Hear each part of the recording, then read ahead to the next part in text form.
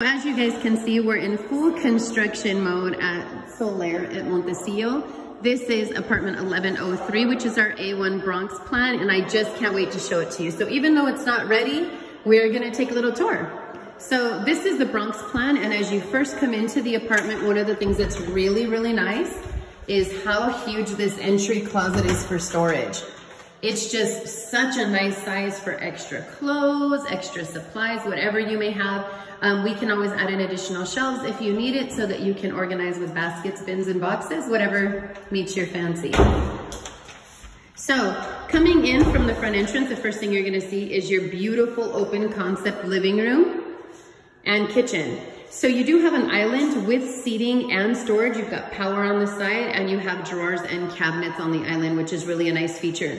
The refrigerator isn't installed in this one yet, but it is a triple door stainless steel Whirlpool refrigerator with bottom freezer. And you have water and ice on the doors.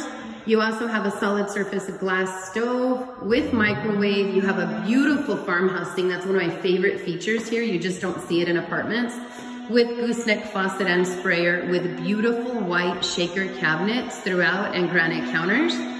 Um, I just absolutely love the storage space. You'll see that you have a full-size pantry, upper and lower cabinet for pantry.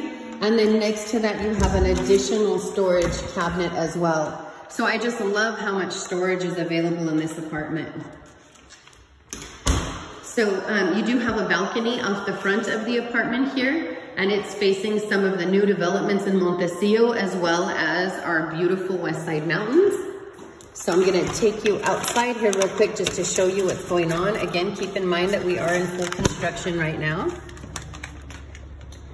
So you can see though that you've got gorgeous mountain views out here. It's really gonna be beautiful sunsets and sunrises out here. So again, ignore our mid-construction point. So as you come back around, one thing that I really like is that your bedroom is super private on this floor plan. So as you turn the corner, you'll see that we have your bathroom. Um, you do have a really nice sized bathroom and this one has custom tile on the shower with um, storage for all of your beauty supplies.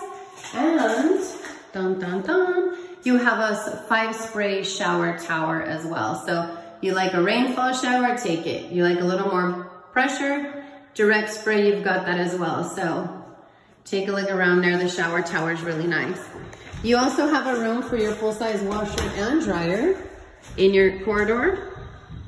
You'll see that you've got, and it's a double door access here. So nice, you will have a shelf in here for your cleaning supplies and you do have a 40 gallon water heater of your own so you don't share water with anybody else.